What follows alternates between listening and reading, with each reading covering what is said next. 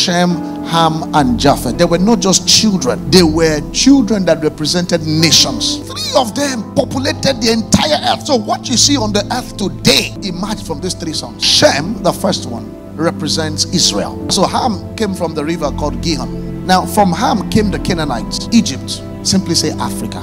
Japheth means extension. Japheth means expansion. In fact, Europe came from those places. Asia Minor came from those places. One important thing about Shem or Israel is that they are the only stem of God that had the revelation of the name of God. And the revelation that the African continent, that Ham had, was herbalism. You say, why is Africa not into invention? It's very simple. Those who follow idols, they become dull. The first herbalist in the Bible came from Africa. His name is Nimrod, and he was reported as the global and the best herbalist. You find that at best in Africa, the only thing we have to show to the world is ministry. And even that ministry, many people use some idolatry to enhance it. A time is going to come in the prophetic destiny of Africa that Africa is going to still have his head high up in the midst of Shem and in the midst of Japheth. Churches are being sold.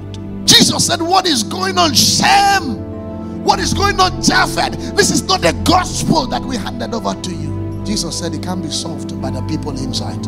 The people in the room have messed up the room. I need to do something about the room. Then he went outside and put together. Can I announce to you, I'm one of the people that he's putting together. You are one of the people he's putting together. Oh, you don't sound like your business is one that is putting together. You thought you just stumbled into that business, you thought you stumbled into that idea. It is God putting it together. Somebody say together. Just going to be a one man show. It's not going to be this man is great, that man. He said together, together, because the agenda of Africa together